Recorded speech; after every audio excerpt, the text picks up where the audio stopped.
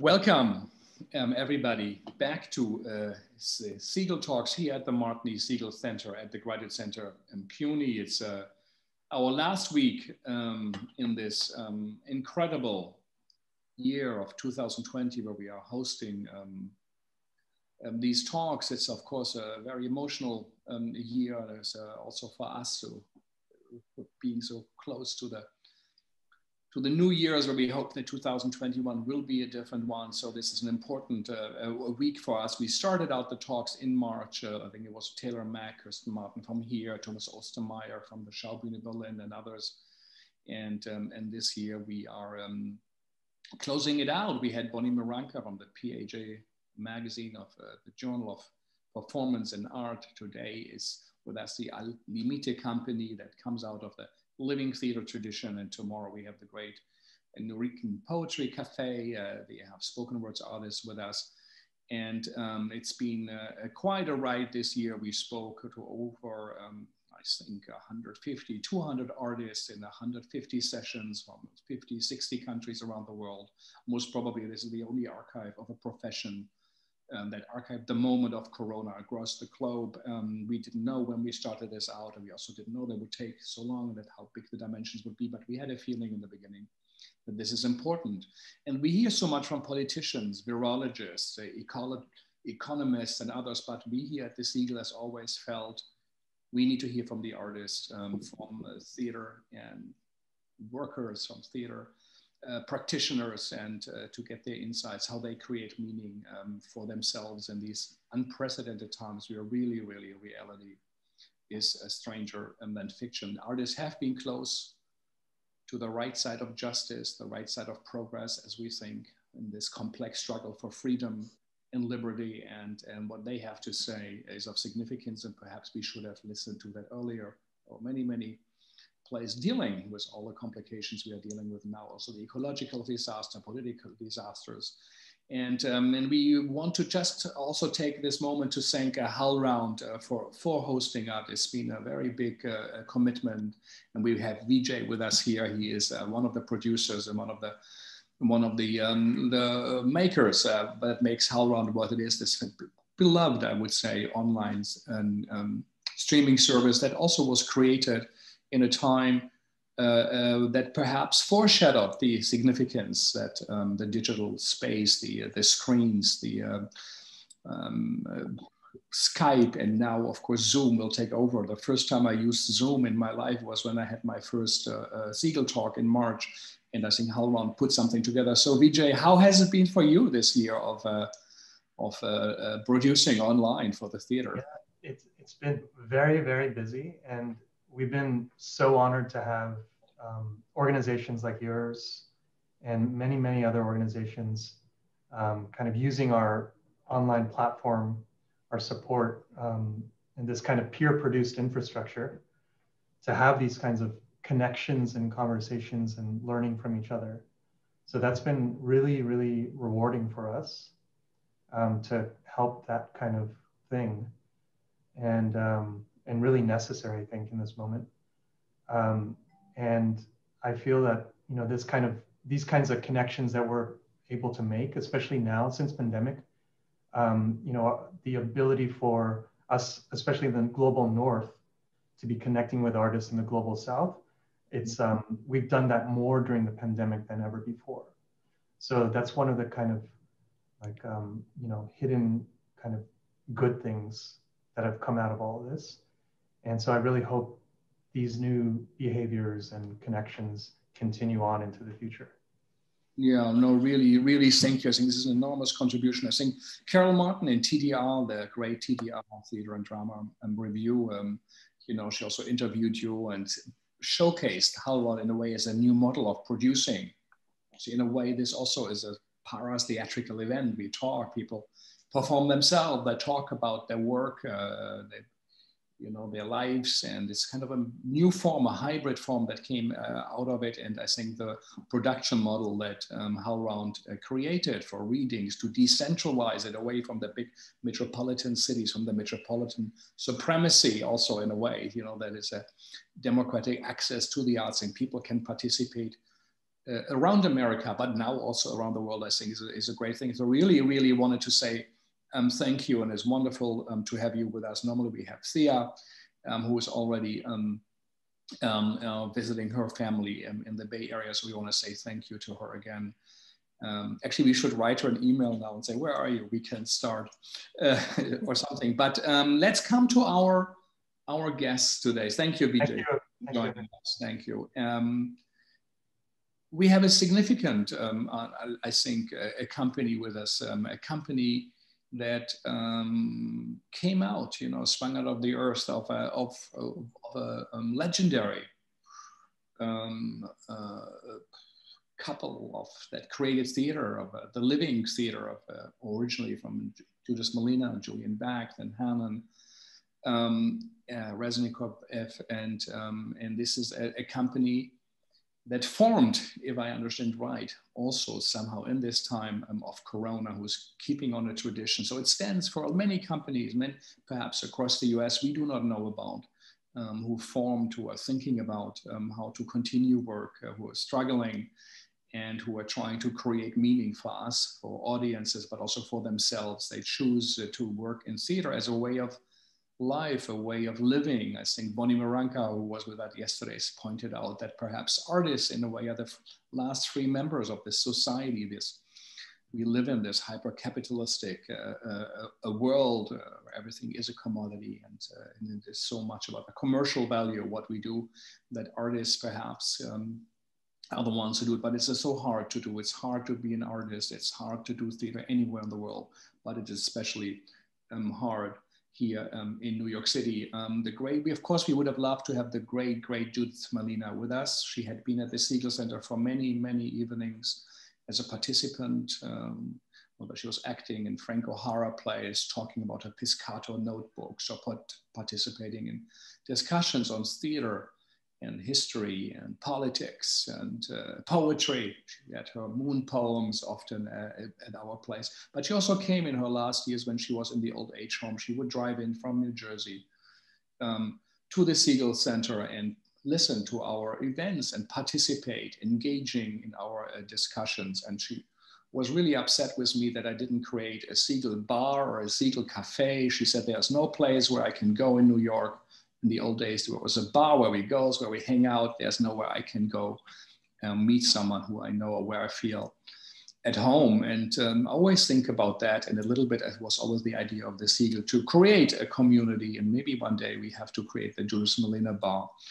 Um, and everybody who is here has been working with her and inspired by her work. So with us is the Al-Limite, a, a company.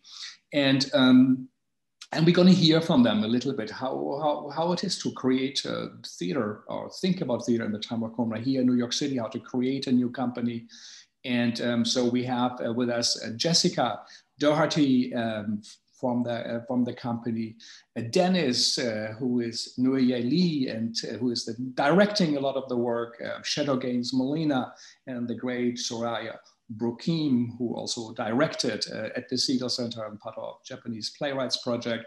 So Dennis has worked with us. So it's um, a company we are close to. We had Tom Walker with us here on the Segal. He gave one of, I think, the more really interesting and important conversations. Maybe might be for anybody who's interested. Also, inspiration to go back what he had to say. He has been with the living since 1972, and this is kind of a variation, an update, a modulation, a new form um, of, of, of, of a, a, theater tradition that has been so significant. Um, we had uh, Hilary Miller, he, she, who said so many ideas out of the 50s who were done in living rooms in the underground became so big and important in the 60s, and the 60s still have an, uh, such an uh, impact that, uh, as we said yesterday, also people think, why do we talk still about the 60s and the 70s? But we talk about it because it was important. So this is very close to that, but it's also trying to, to reinvent, to recreate, uh, as uh, Heiner Müller, the great German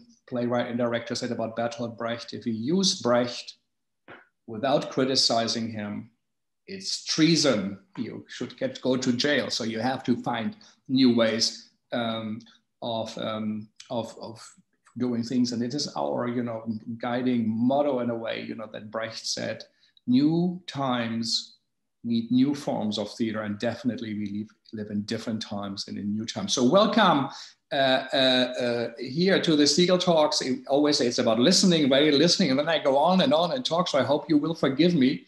So um, uh, Jessica, Dennis, Shadows, Soraya, welcome everybody here. And uh, so where are you? And um, let's begin with uh, Jessica and tell us a little bit about yourself and your work, what you're doing in the. Sure.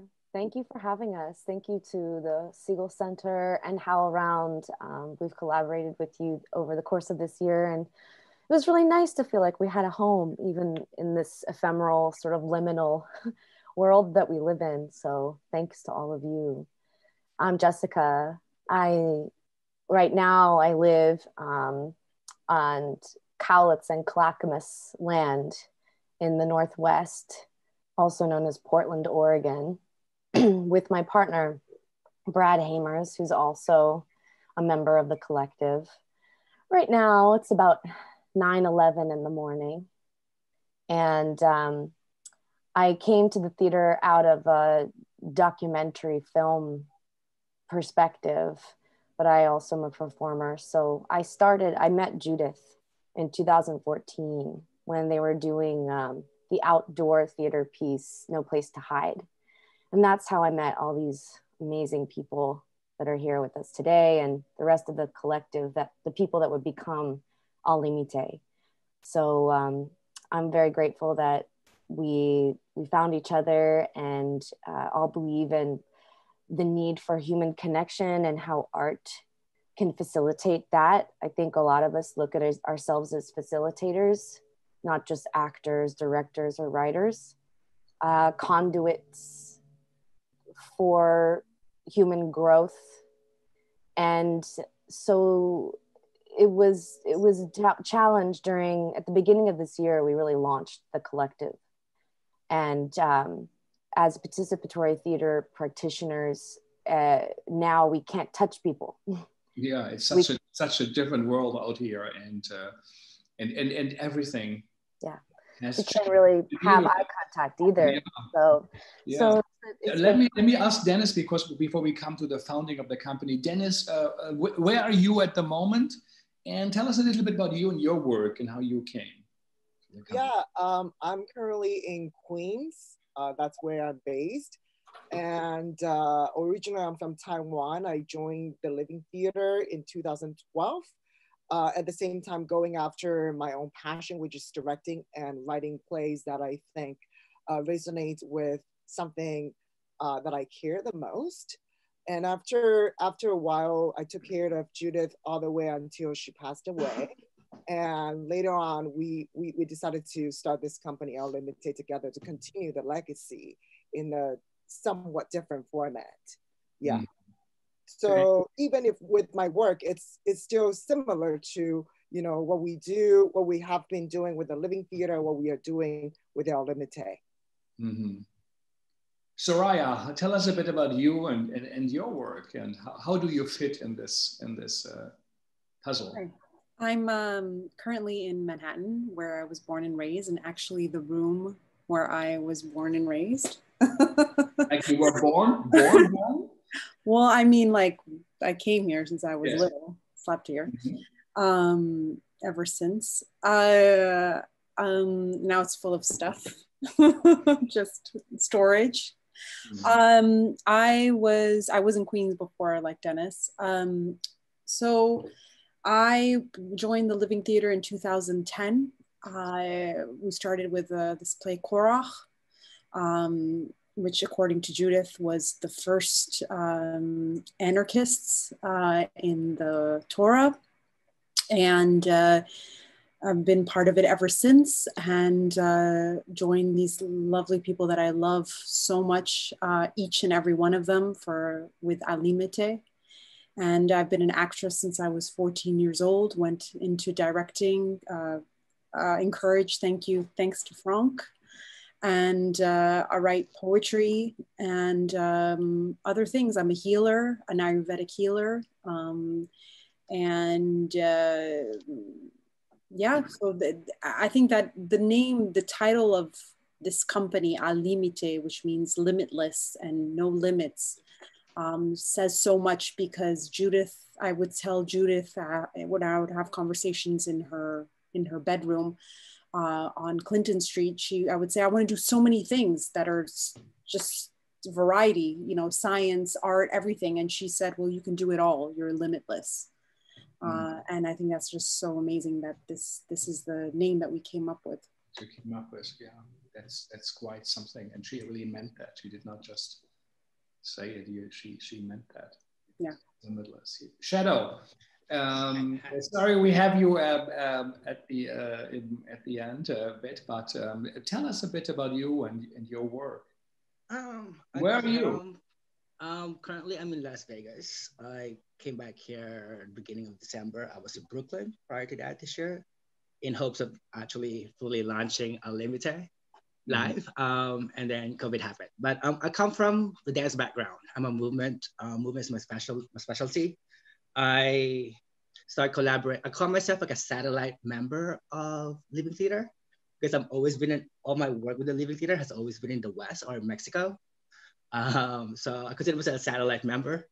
Um, I started working with, with the Living in 2013 at Burning Man when they built a, a black box theater. And I was part of a different collective back then. I was based in San Francisco, which, which uh, we were doing Butoh under Bad Uncle sister. And from there, I just stay in the site of Al Limite. I joined them um, towards the end of their um, tour of Latin America last year, doing um, Electric Awakening. And ever since then, I just, I'm like one of those little animals that just like clang on to the core members of the, of the Living Theater. And when this opportunity comes to launch a new theater, I was like, yeah, let's do it. And I've been blessed and fortunate to be surrounded by these amazing creatives. And I'm happy to be here today and share this moment with you all of you.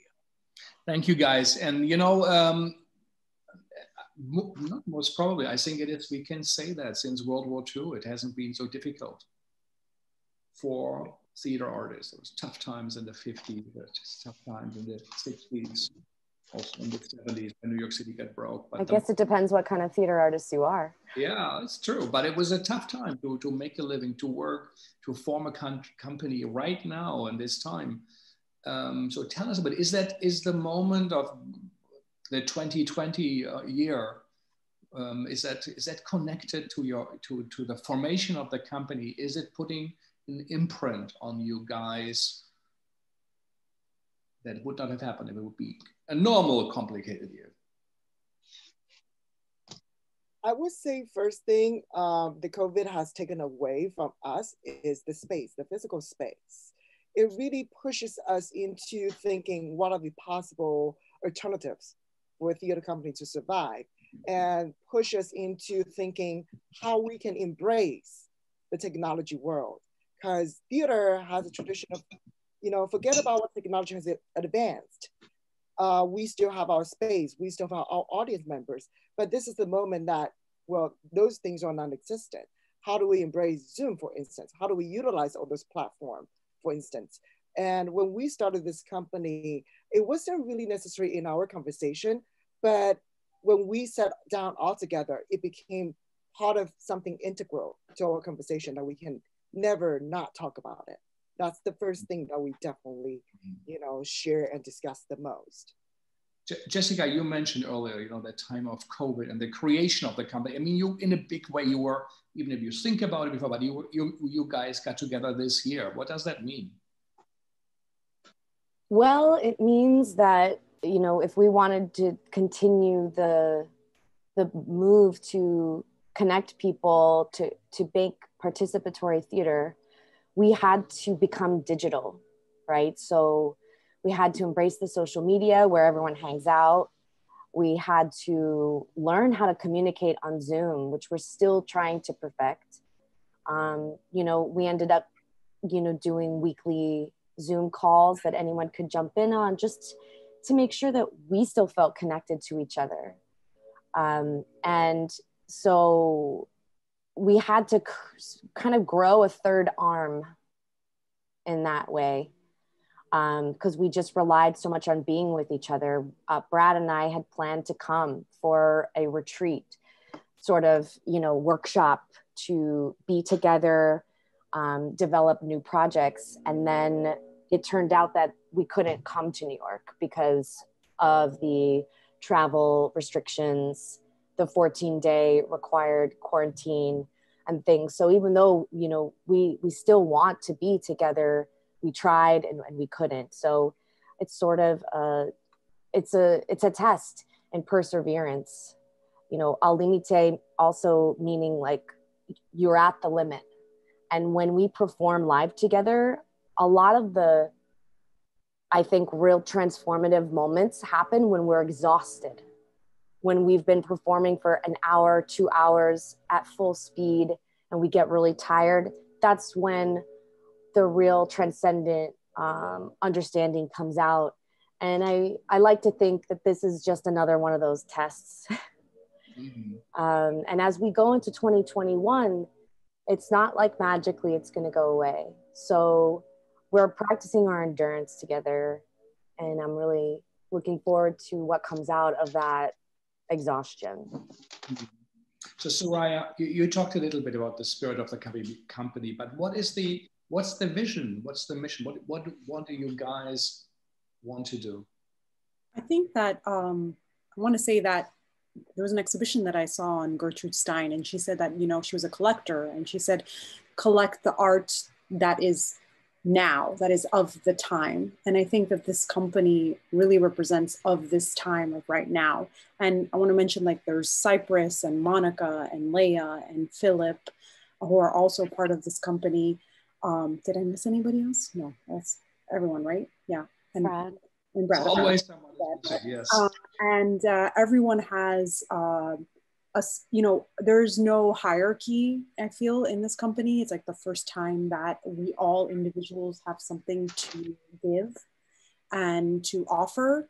Um, and we don't just offer one thing, we offer m- multiple things. Um, everyone has a different skill and strength uh, that makes unity and, and that there's strength in this in this unity. Um, I think it was really beautiful about the the the you know it's more about instead of being a vision it's more about the feeling of the company is that um, we really acknowledge each other where we are at that time so what did you guys do this year? Like, let's say what what kind of performances or say what what happened this year? Um, this is basically you yeah. started out. What what did you do? So Jessica um, mentioned that every week we would meet up, and uh, actually every week, whenever there was a, a talk or a conversation, we always brought something into fruition. And so one of the projects that everyone was part of all over the world, actually, not just us. So the the branch, the lens of the company goes out to the whole world of whoever we've ever touched um, and whoever can participate. Uh, um, we we we asked everybody that was ever been part of us um, to write uh, to express how they feel during COVID as a beginning, middle, and ending. And uh, everyone wrote and responded to that. And out of that, um, each person would, uh, we'd start with the beginning and then the middle and then the ending. And we would do a response, a video response, a digital response, because that's all we really had. Um, to any, in anyhow, with the audio or visual or, or, or painting or anything. Um, and we would respond to that, write to those writings, that poem that you would choose, and then create something from that uh, digitally. Um, and then we would post it uh, on YouTube, on uh, Instagram, and that's was one of the biggest things. But there were other things that were created that they can talk about as well. Right. If you look up uh, hashtag Al Limite Liminal Archive, you can see all of the entries from people from Brazil, um, Mexico, uh, and the U.S. and other places around the world. Mm. Yeah, that's uh, that's uh, that's that's quite something. Um, and, and um, Let's talk a little bit about the idea of the legacy. I, I under, if I understood right, you're also out on the street. So there's a pipeline in Brooklyn uh, where you did you, you did something. So um, you're carrying on a tradition in a way that you know a path that was you know uh, created before by, by, by the living. So uh, tell us a little bit, what is your idea, what's the idea behind, tell us about this project, but also as a forming, um, founding ideas, what, what is that about what you're doing? So I think, you know, the, the online project that we did was actually inspired by uh, when we when we were still spending time with Judith, we always uh, rec- uh, embraced the moment that we were together, such as like Passover. And this this particular year, we actually did the Passover. We had the, the scripture that was written, adapted by Judith Berliner, and we were reading it via Zoom. We realized that we could create something that's ritualistic, which mm. is always the legacy of the living theater, something that's super ritualistic, that breaks the, the quotidian life that put people into a liminal space so that you know eventually at the end of the production you feel invigorated you you you you gain a new energy of some sort. That was the beginning of that project. So we were trying really experimenting on how do we incorporate the instagram the micro art the minuscule art so to speak and uh, for the brooklyn the pipeline project it was really uh, you know, Judith, when we were still in a living theater, oftentimes we went on the street to just join the protest, to really stand with the people that are oftentimes uh, underheard, underrepresented. And uh, Monica, one of our members, she has been highly involved in activist movements, uh, especially against climate change, against all those pollution, polluting companies.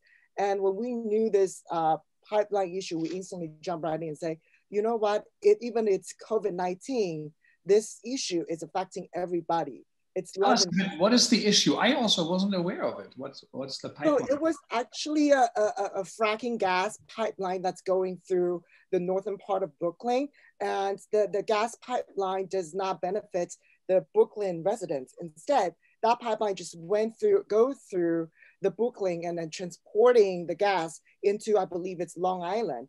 And when National Grid was doing this project, they didn't con- they didn't host any town hall meeting.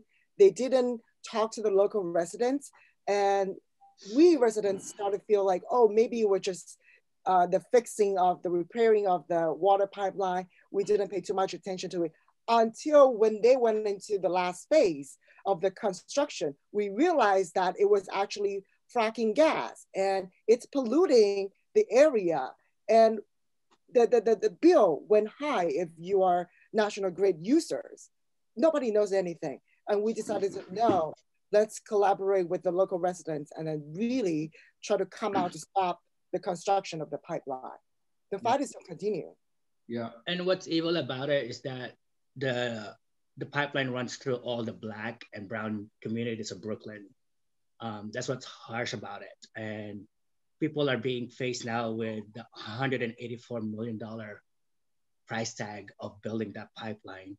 As Dennis said, doesn't benefit Brooklyn, doesn't benefit New York.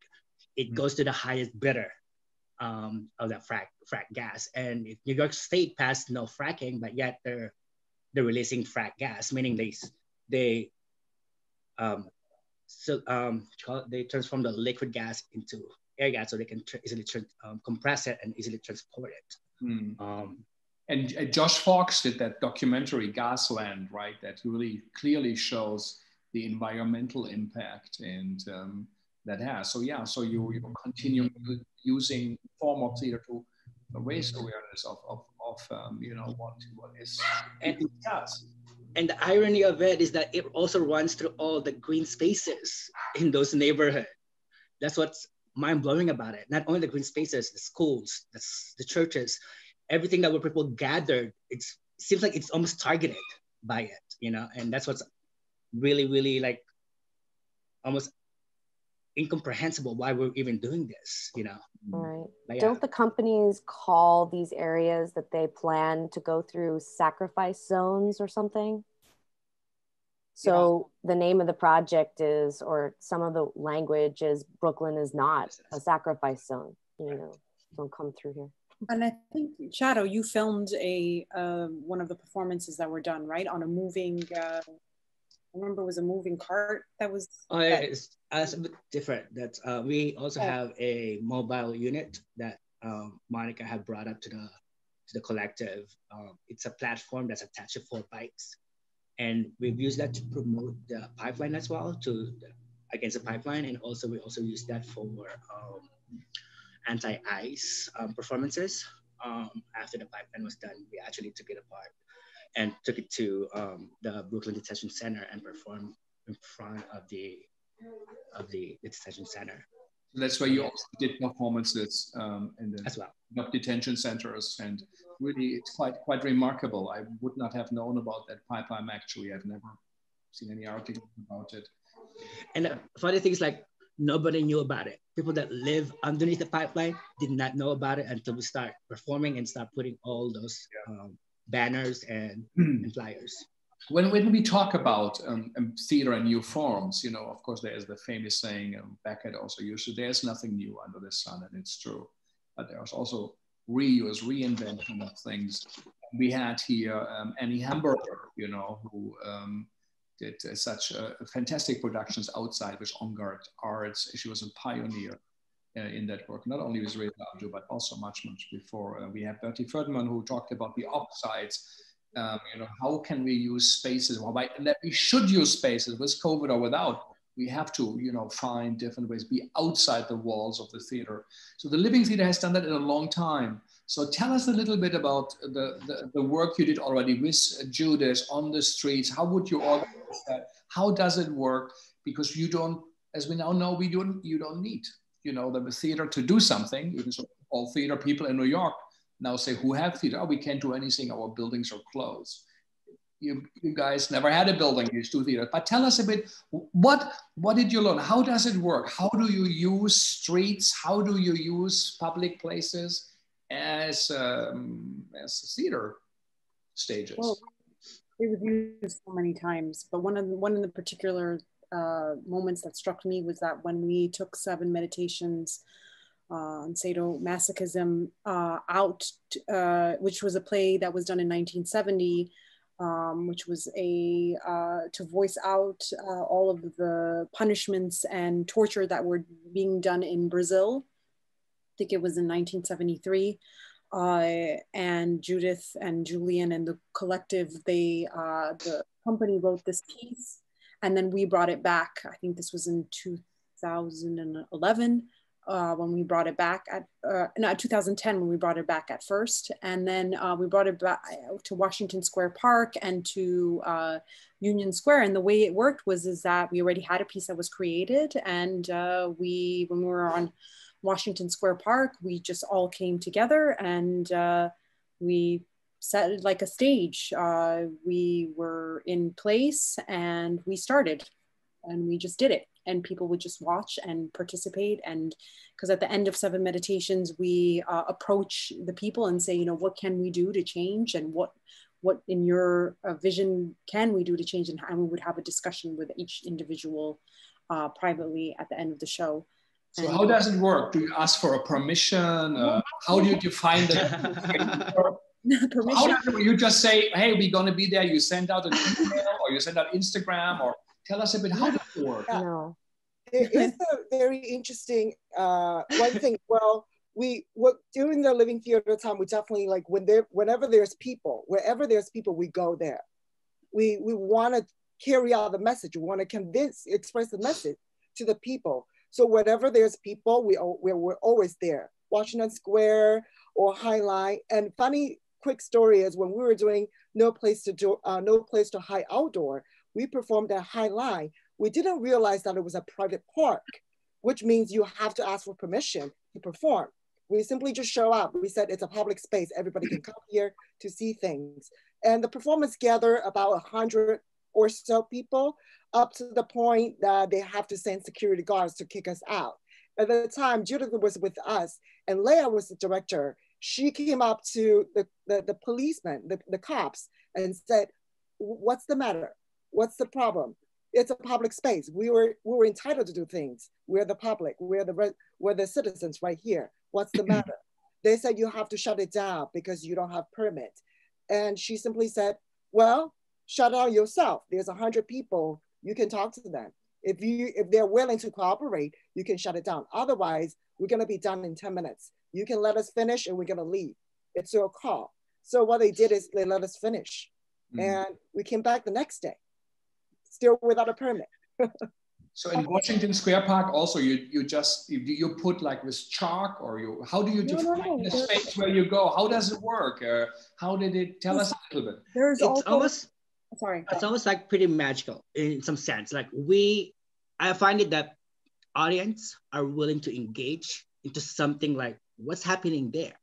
You know, like find find example, we were rehearsing the brooklyn piece in Greenpoint, and it's pretty almost like there's nobody around there. It's almost isolated. All you have there at Greenpoint was all the trucks and all the workers. But the workers were engaged to a point where like, what are you guys doing? To a point where like they were standing there and watching, even though they work for National Grid, they end up watching us. And because the, the curiosity brings the audience. In that sense to me like our street theater you just bring it to the street and people just gravitate to it because people are wanting it. People want to see stuff. People want to be engaged. And i think that's the beauty of like street performance. Like license or no license like bring it to the street and people will gravitate to it. Right. We want to diffuse the the perceived separation between theater performance and life there's no fourth wall Mm-hmm. We are in space and we perform as individuals um, with a common idea. And if the people in Tompkins Square Park key into that idea, they actually become part of the performance with us. So you have a set, a set mo- a monologue, or you have speeches recorded, you have some kind of a costume. You say, We're going to do that tomorrow at 2 p.m. You send out an Instagram or an email and and then you uh, you just you perform and you find your audience. Like a hundred people is what people are always very happy if they have so many in a small theater right? Yeah but usually we meet up beforehand um, because you know we also run uh, daily workshops where we teach people how to do this. Um, uh, and uh, a, d- a day in the life of the living was called originally um, and when we created a piece in uh, around Flatiron, uh, that was uh, an, uh, the last time we I think I, we taught once. That wasn't the last time, but um, we create a piece. There's a structure. You have to know where you are. There's a discipline. There is like any performance. There's warm up. There's a consensus, and then we walk out there together, and then we uh, take we take a space that we chose and we start. That's usually how it is. We have to we usually meet up before. Mm. So I wanted to mention also you asked about location. There's another aspect to some of this work, and that's uh, I guess you would consider it direct action, um, and that means you know taking for us that means taking a theater piece that we've devised with the message to a specific location or a specific group of people who we want to share that message with.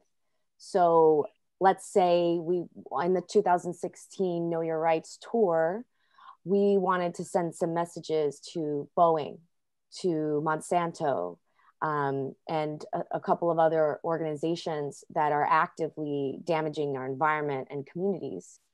We didn't want to let them know that we were coming. We didn't want to ask their permission to come and send this message to them or perform for them. So that's another aspect of this as well. Um, anyone can get together with a group of people with a common problem in mind and come up with something to say about it and go and take action. Sort of like that I was talking about. You went in front of the Boeing headquarters, or what did you do? Yes, uh, we on that tour we traveled to Chicago where the head there's a big headquarters there, and we performed right in front of the front door, um, causing uh, the security folks to be alerted. Um, maybe causing some of the very busy workers in in Chicago to at least turn their heads to see what we were talking about. Um, and uh, we also went to Berkeley and a couple of other places and performed seven meditations and after that we brought the audience out into the streets because that's what julian and, and in paradise now the theater is in the streets. Mm. so we continue in a way you're using techniques that were developed in the 60s 50s 60s or Waalsburg and others and you're adapting them to the 21st century. Do that does it work? And what is new about it? What's different? I think something that we are still doing uh, it's not necessarily new new per se is we, we're just getting accustomed to what is happening nowadays which is there's a lot of technology so even something that's as old as you know in the 60s when you go on the street to do highly stylized biomechanical movements it attracts people's attention because people nowadays are not used to it. So when you have a group of people really committed into doing a certain specific thing, it instantly draws attention. So we we just remind people that there is this tool that's still timeless. But just because we're moving into a technological world doesn't mean the old tool is no longer working and that that is also the way that we do street theater which is always prepare ourselves so no matter what happened on the street you stay with your own message. You know you have to trust your ensemble members that they're always going to back you up. So when we were doing state of direct action we need to we need to talk about what's going to happen if the cops show up. Who's going to be in charge of de- de-escalating any tension? And how do we safely leave out the space? But also at the same time, when we enter the public space, how do we come in with a very strong, determined uh, attention towards the place that we are performing so that people can instantly tell that it's a space that's going to make something happen, so to speak. It's a very similar way as you, if you go to Washington Square, you will see people that the break dancers, they are trying to like call out people, say like, hey, we're gonna have a show, we're gonna have a show. Sometimes we do we do do that, but sometimes all all that's needed is just a group of people in costume coming to the space with the commitment and do the show. Instantly, people will draw will be drawn without much ado fine example was that when we took the mobile unit, uh, it's just me, Monica, and Leia, three of us driving that thing. And there's Leia in the middle of the platform in somewhat like a, like a chicken wire cage for the anti anti ice um, performance. And we literally stopped traffic. Like to a point where like people were honking because people are people in the cars were engaged. Um, that was not our idea. Our idea to take the the the the platform to another space and then around there was like a, a hard bike ride up so like we caused traffic and because like the the the car that was next to us was following us were full i believe that they're migrants um, so they can attach to the the message of what we're what we're performing and and as danny said like we can engage audience without even asking them to be engaged you know seeing someone in costume in the middle of brooklyn on a bike on a platform attached to four bikes. It's like, I want to see that. What are they doing? You know, curiosity sparks that. And um, I think we're fortunate enough to like, we have so many creative minds in our collective that, you know, can come in and out and put something on a table where something this this simple yet amazing can be executed and you know grab the, the minds of audience whether they want it or not There was a we all we all performed as a collective in uh, in Mexico, and uh, it was the day of the Women's March. And as Shadow says, it's like really magical. And we were just walking and walking and walking and walking. We created this piece called Electric Awakening, and we took parts of Electric Electric Awakening, which was a story of going from death to birth.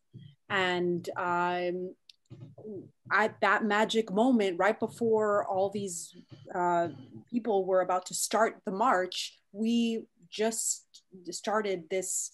We started the Electric Awakening, uh, and uh, a part of it, and everyone just stopped. And it was it, it, there were so many people. It was so ma- incredibly magical. Everyone just paid attention and stopped and watched us and let us do the performance. And then we dispersed, and then they started marching. Um, there was also a moment in, I wasn't there, but uh, I remember leah telling me the story that there was a moment in, um, it was a Mormon uh, uh, area, uh, right? Uh, and um, there's this performance. In Salt Lake City. Right, in Salt Lake City. And there's this performance that we where we meet each other very slowly. Um, it's a moment of love where we touch with, we make love without touching. And it was same sex uh, uh, love making and uh, did it right in the middle of that, right? There was like a, the reflection pool, which represents the union between a man and a woman only. And we went beyond that. right. We got kicked out. that's what we went to do. I think uh, one thing you, you, might be asking about. In, in the Mormon uh, uh, kind of uh, stronghold, you know, in their pool of, of unity, you know, like a couple of same sex would say we should be, should be the same rights for everyone. So you went in there, you put actually your bodies at risk. So you do what Camus said, you create dangerous art. So as Pasolini said, you know, we have to throw our bodies into life. So you take a risk, right? When you when you go out there. Absolutely. And it, as Dennis said, it, it takes a certain commitment to each other, a confidence. And I think that's something that Judith and Julian really cultivated. We work with something we call magic casting, which is a combination of trust in yourself and trust in the people that you're collaborating with and working with. Your awareness of the space. So you're aware of what's going on inside the performance, but you're also aware of who's watching and the environment and how it's changing as you perform so that you can bring it in or so that you can react appropriately. You know, if there's a bulldozer coming for you, for instance, or a police officer who's going to try to come break up the performance, there's there's this awareness and this trust. And I think that every theater company or every performance group can develop this together. Um, and it just takes some some trust. Yeah, the other thing tech like if we're talking about techniques, I remember the a small anecdote that some uh, one of the members in the Living Theater asked about Judith, how to get into the character uh, that she's portraying, and the response was, it was it, there was not nothing that's called character. It was all about yourself performing in the spot. So whenever you are perform, whenever you are performing, you always keep it to yourself. You know you are there. You are present it's not the character that's present, it's you that's present. So even piggyback, piggyback to what Jessica just said, uh, the trust is you need to believe into the message that you are trying to convey. You need to believe why you are there. You need to convince yourself you are there for a, a, a good cause. And you need to trust the people uh, around you. Same as when we did uh, a Revolting the Stories, when we did the reading, the talk that we had it was really not about how do you portray the miners uh, or the miners' life. It's all about you at this particular day, election night. What do you believe that the future of America is going to be like? What do you think? How do you fathom by doing this project actually help advocate for the things that you believe, so to speak? So it's it's it's all about preparing yourself more than preparing yourself for acting out a character. So I would like to hear from you. Uh, what do you believe in? Why why do you guys make theater and not painting or, or another art form? Why do you do theater? What does it do? And has COVID changed that a bit? So I would really like to hear from every one of you. Why why are you doing this? I think that one of the things that are is like transformational, radical transformation, and like leadership that we all lead our own lives and we can all help each other and i think one of the ways of actually finding the collective idea is first of course what what do we need? Uh, what does our community need? And we ask our community uh, when we work with other people what do you feel you need in the community right now? Where you are the country you are the time you are and where you are what do you need? And then from there with the tools that we have to perform and to create art, we think about, okay, how can we change that? And what can we do to voice that? And from there, uh, art, art is created and we led. Yeah, it, it's, you, you don't, sometimes for me, I don't have to believe certain things. When I walk on the street, I look around. When I see people that are not having a house to live in, that are shivering in cold, uh, or the people that are waiting to get food, it's, it's already a good cause for us to continue doing what we do. Because it's, it's only human to really care about other human beings.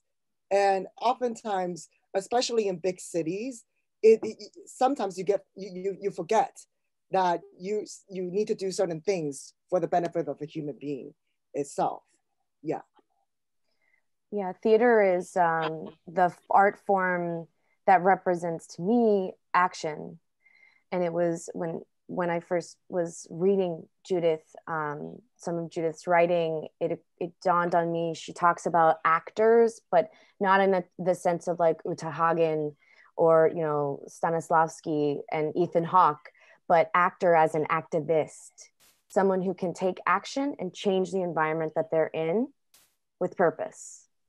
So it really changed what I what I perceived as what theater is, or what the who the actor is inside of that, and what the possibilities are as a human being, not just a okay, I'm going to become a performer now and perform this story or this character like Dennis talked about.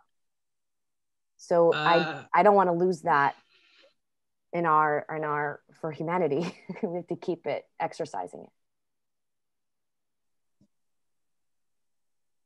I look at um, Al Limite and the formation of Al Limite as my personal lifeline. Um, I moved to Brooklyn this, earlier this year in January in hopes of gathering together as a group to find to create uh, repertoire because we had planned tours earlier this summer that you know was all canceled because of COVID. But then when COVID happened, then I realized that everything is destroyed. And then a quote that came up to me throughout this year year's destruction is a prerequisite for creating identity. Um, by living through that the past year, and it was like, it gave me hope that, yeah, we might not be able to perform performing life, but we can develop our own identity creatively. Um, and that, that, that, that, that kept me, that kept me alive, that hopes, that idea that yeah, we might not be in the same space, but if we just keep pushing little by little, we will come off of it a better than what we came into it. Um, and that I think to me was my saving grace for my creative mentality. You know, and I was like, yeah, because as I said, for me, all my work has been participatory, in contact with other people, you know, with my co-performers, with the audience. You know, uh, I've been the past 10 years in my performance have been how do we bring the audience into the performance? That's always been the main question. And now we don't, and I don't have that outlet. Like, how can I bring the audience without touching them or without even looking at them? You know, or not, not, not even being in the same space, you know. Um, and I think that's what COVID brought up to, brought up to us. You know, it's like we don't have this. We're taking this. What you gonna do now? Mm. Yeah also a question of you. Do you feel this time of COVID change something? Will it be different what you will be doing? Let's say next year everybody has vaccinations and things will go back to normal in 22 or late 21. But what is normal? What is normal, God? What is normal? Are we going back to normal? I highly doubt it. What I mean, I mean, normal is gonna have to change. I think it should change because normal. Have you changed? Obviously, has your work changed? Does Al Limite do you think something will be different because of this year? Yes, um, there was this aspect of uh, the living that was, um, and I, I used to say this to Judith that I said, you know, this is very dictatorship sometimes. It's like a cult sometimes, you know. Uh, and she was like, well, what if we're a cult? It doesn't matter. You know, she wouldn't deny it.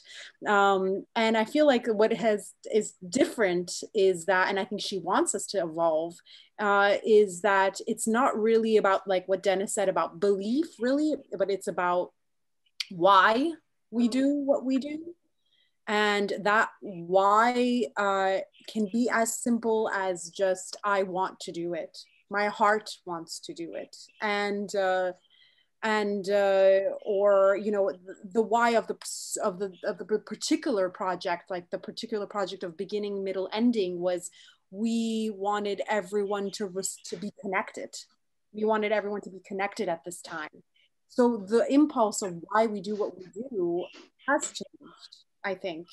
Uh, there's isolation, so there's more need to be uh, connected. There's uh, um, uh, everything that's happening politically has changed as well. You know, so uh, we respond to that time at that time, and I I know that's very transient, and that's not like even Dennis has been. Dennis is our our our guide in a lot of ways. You know, he's he's our um, he puts us back in check.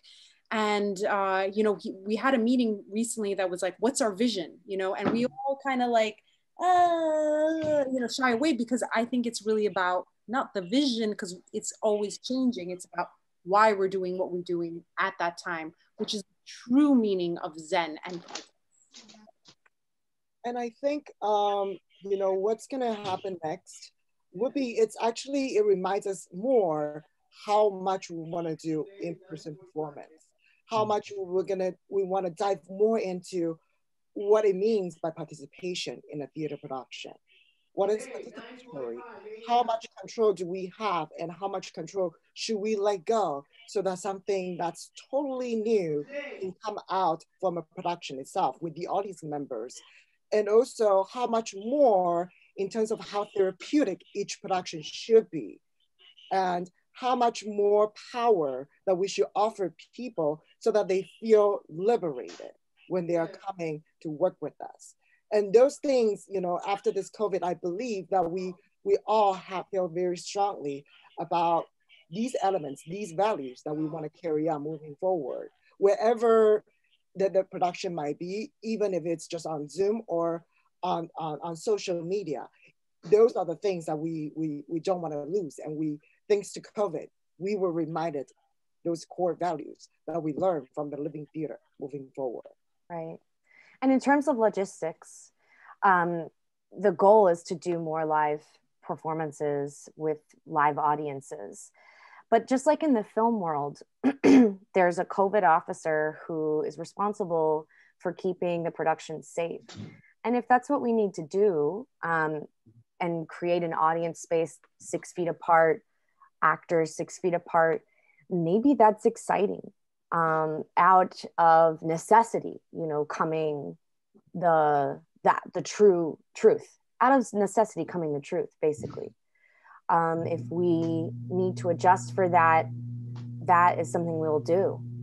And maybe we'll keep some of the digital formats that we've developed in some way um, but the liminal archive was designed or, or conceived to grow with us through this time. So it started as writing and became these digital imprints that we post online.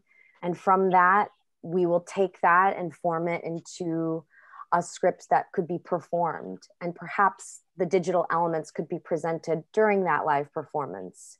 But we want it to, we don't know how what's going to happen with it because we're looking towards the future and still developing that um, but it will have its rules and its limits and we'll embrace those limits and content wise uh, very interestingly throughout this year we have been discussing about the issues that we care so much uh, especially the political issues it's not between biden or trump it's there's something that's deeper that, that troubles everybody's daily life the, the, the income inequality and all that and then because we had so much time on the internet, we started to make connect the dots.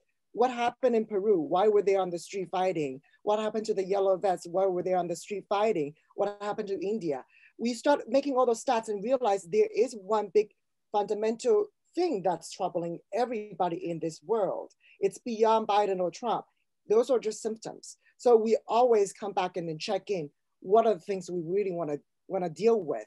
what's our next production is going to like how do we speak on those issues how do we incorporate as many voices as different voices not just from you know the racial diversity within america but on the global stage what are the people uh, arguing about what do they care how do we make sure that this message is as universal as possible and really go into the very core that cause human suffering. I think that's something that we have been discussing and talking about moving forward. There's also an incredible platform. Maybe you want to talk about that, Dennis, that you created um, to unify all of us where we can post images. And maybe you want to talk about that platform because I think that's really helpful to other people as well. Oh, yeah, it's just a platform that, you know, we're moving to the new technological world.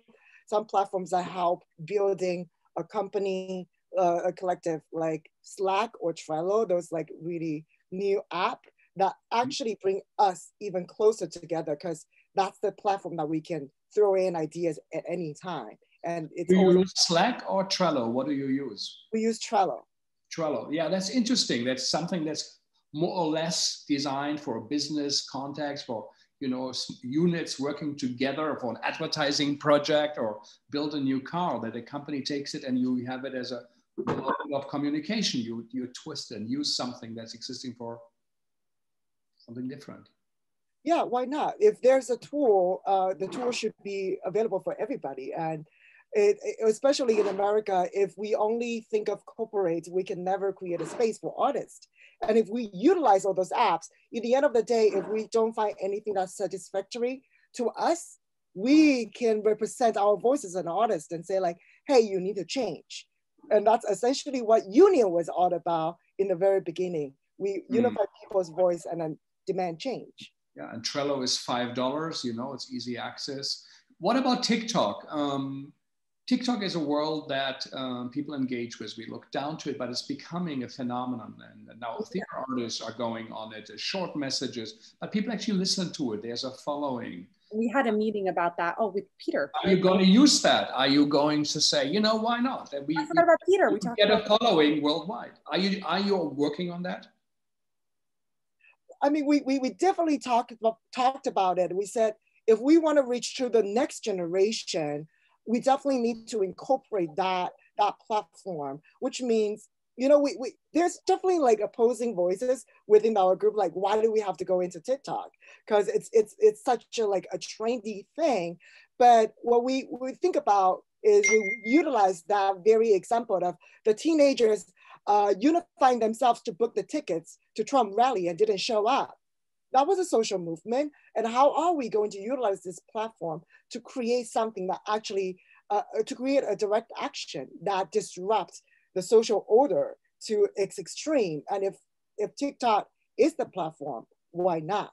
So that was one of the voices. And the other one, of course, is the concern about the privacy issue, the personal freedom and all that. So we're still ongoing in terms of the debate, but I think uh, a lot of us are very open-minded in terms of like how do we incorporate all the tools out there so that our voice can be heard. Amazing, amazing, amazing. We are coming you're closer to the to the end uh, um, of our talk. Um, so this is for our viewers. You know, this is interesting. There's a company that came out of a company that dates back. I think Living Theater was founded 48 or 49 um, and developed methods. You are re remoduling them, you're reusing, repurposing them um, um for the 21st century. I think uh, your small mobile units, you don't have a theater in itself, you don't even have an office, you contract, you can you, you can, as a small mobile unit, uh, connect uh, in cities, even in countries where you have people who have collaborated with in Italy, Brazil, Argentina, wherever you would go, and you perform on the streets and the plus in the parks, but also in theater um, the you know just looking at you guys here the diversity in your company is outstanding. Everybody talks about it now but you have done this you know for a long time in the living especially also your company without even thinking about it. You know that it's now something that's being added on the web page you know to to um, have that diversity statement. This is in itself it was always an integral part of your work. And uh, so this is um, and quite uh, quite sophisticated now how you're also going into you know, the digital realm and uh, using apps and uh, possibly working with TikToks. Yeah, why not? Your performances in Brazil here, the, or restaging on very short uh, uh, uh spots that might, when people um, uh, inspire to come and see the full performances. So um, it is it is um, um, wonderful to see, you know, how it will be people will be following your work to see you know what what solutions you find what better questions you will have and uh, so stay true to tradition but also reinvent it. And that's why i think this is an important um, adventure you guys are on. And everybody listening out here, you know, hire these people. I mean, it's so hard to create something there, of course, not subsidized, don't have that company structure of a nonprofit that is, you know, being supported like the off and off of Broadway playhouses. You know, Soraya should be in a TV show and a lead actor and put the money back in. And Dennis could be directing other work. Uh, and uh, Jessica does documentaries. Shadow is a dancer. So I think we have to support them and think about it as professionals. Um, and they are great artists and they're also evolving and developing. And now it is of course, crucial. At the end of the uh, talk, uh, what, what, what are new projects? Can you share? What are new ideas? What you have, whether you're going to happen or not? What are you guys working on? Well, there's one other space that we're exploring in this new realm, and that's internet radio. And uh, because of our our germination as Al Limite, we met a group in Tijuana called NetNet Space that's run by Jaime Jimenez and several other artists in Tijuana. And they have developed uh, NetNet Radio. And that's a 24 hour broadcast at netnetradio.com. You can just go there and listen to everything that's being played for free. And one of the elements um, that Al Limite can contribute to that is live readings, um, talks like this, and other other you know digital audio performance experiments. Um, so that's one thing that will start coming out in 2021 uh, is on NetNet Radio um, performances and things from Al Limite. And we are also talking a, a, possible collaboration with the Freedom Theater from Palestine. We are trying to do something with them. So that's that's. And that will be digital, like a digital project. Mm-hmm. What was that project that um, Leia was proposing for April? Oh yeah, it's that Palestine Freedom Theater. Palestine, okay. Mm. Any plays are you doing or productions? We're discussing devising a new piece in the same manner that we did devise Electric Awakening. Mm. Are you familiar with how we put that piece together? Well, maybe you can say it in a few sentences. Uh, yeah. I think Dennis can do that better than me. It, it's we, we had a concept and we want to play along uh, mysteries in smaller pieces to just do a lot of physical work without language to convey a very idea, which means to confront the unknown. So we have we create a life cycle in different stages, and we talk about each stage. What are we trying to confront? And we we simply just do physical exercises inspired by all the smaller physical exercises that we did in the living theater, develop further into a performance. Right, amazing, yeah. And I'm sure you can do great workshops at universities, teach about the history of the living, uh, the legacy of it. And again, it's a, it is a, a I think, um, um, a way to do theater, a method that does work outside on the streets in the parks in the public spaces, engaged with social, political context, environmental themes, as these guys, it was the pipeline or in front of the detention centers. Um, a diverse group, um, you know, that uh, that really reflects how New York City looks like, and um, and to work together collectively. They say the big change perhaps is, you know, that it's done as a collective. More people are responsible to it and will take artistic credit instead of the one person who might have done this um, um, before. I think uh, what um, um, also what Shadow said, the idea, how do we bring people in to our spectators? How do we get close to them? Or earlier on, I think Soraya said, you know, we listen. What does the community need? What can we do? And Dennis's idea, you know, of, uh, um, of, of creating uh, sensible spaces, you know, where people, even if they turn their head or listen for a moment, you know, uh, most people, of course, also think will have a deeper impact, but there is something in there that this company has done for a very long time that in the time of COVID works, but perhaps it's also of significance whether there is a virus out there or not. It's a great form of theater. It's an important one that emerged and that is moving, that is growing, but also changing its shape. And it's something we, um, we all uh, should and can follow. And also it's honoring the legacy of a great, great theater company that like very few others and some claim it has been the most significant theater company of the 20th century, the living with the biggest impact, biggest success, and it changed uh, how we think about theater. So um, congratulations, you guys, of a, putting this uh, out there, the work of connecting, creating your own community, but a community beyond it. And uh, I really wish you um, um, all the best, and um, and, uh, and, I hope that you also continue the legacy, maybe also to teach it and and and and continue that work with the living theaters, but also through your company. I mm-hmm. just want to say one thing that uh, I think that the strength of this company that is done and what we're open to is that want to encourage people to not have any fear, no fear in this time.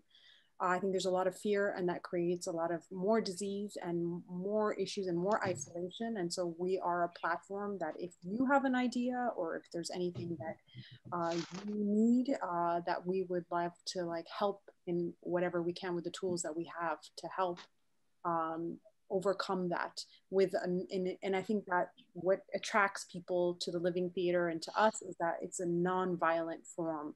Of um, of invitation and of uh, doing things as well yeah and soraya is a healer also by profession a highly highly trained one actually so, and anyone, I guess, then go to the website of Al Limite, send them your projects, reach out to them, learn from them, or be part of it, or do your own company. I'm sure they will listen to you and give you advice or come and visit. Um, this is also something we can do now. So, thank you all for listening. Thanks for HowlRound. It's great that we had BJ with us. Tomorrow, we hear from the great Nuyorican Poetry Cafe, from spoken word artists, uh, a group of people around that is a really significant and groundbreaking institution that has uh, um, provided New York City also with uh, such significant work in the art that it is really worth to to hear from them um, tomorrow as a closure of the um, of the 2020 Segal Talk. So thank you guys for taking the time. I hope um, it was as inspiring to you as it was to us. Thank you for our listeners. Um, we know how much is out there, how many content it's, and more and more talks. We started very early on in March where I think the only one, we are the only theater institution doing, daily programming from Monday through Friday, creating new content. Actually, we were the only one, I think, uh, perhaps even in Europe. Um, and um, and so it's I think it has been a contribution. We're very proud of it, and um, and it was a, a, for us also a way to survive and to be uh, connected to people and share the suffering, sorrows, but also the beauty and the mysterious way art works. And we talked so many artists, and, uh, and I think it was um, um, um, a great uh, contribution they gave us, the artists, listening to them and their voices. But thanks to the audience that listened to us, stayed with us. I hope um, that uh, you will come back to us next year. We are also thinking, how will we go on? We don't know yet. We are thinking about it. And, uh, and um, so um, happy new year. And we hope that 20, one will be better than 2020, a quarter year. And uh, the election with Trump, uh, with COVID, uh, the Black Lives Matter, it's certainly a year that for decades will resonate through it. And um, we are part of it. We are part of it. But we also, as um, as Soraya we are acting in that. We are actors. We have to be part of the change we want to see. We have to take action. It's about us, not about other people. We have to do that. Al Limite also makes that clear that what this is about is not that they are great artists, but they want to inspire people to change forms that are not working and to find new ones or save forms that are good that we should keep. But um, we have to uh, find uh, ways to create the meaning and understand the times we live in. And art has been uh, a great, great, great contribution towards that. So thank you all for taking your time and um, and uh, all the best with your work. We'll keep following what you are doing. So uh, um, uh, all our congratulations of taking on that big shadow, that big big theater that's over you. The names of Judith and Julian are to go forward, but in a way, this is also what mankind does. We have our history behind us. This, this angel of Walter Benjamin, you know, who has the catastrophe in the back but it's looking forward. But it's you know a mountain of, of rubble stands, and we have to see what the new times brings. But it's also part of, of, of the rebirth and the change that happens, and it's part of life. So thank you all, and uh, see you next week. Hear you next week, and hope you will all come back. Thank you. Bye bye.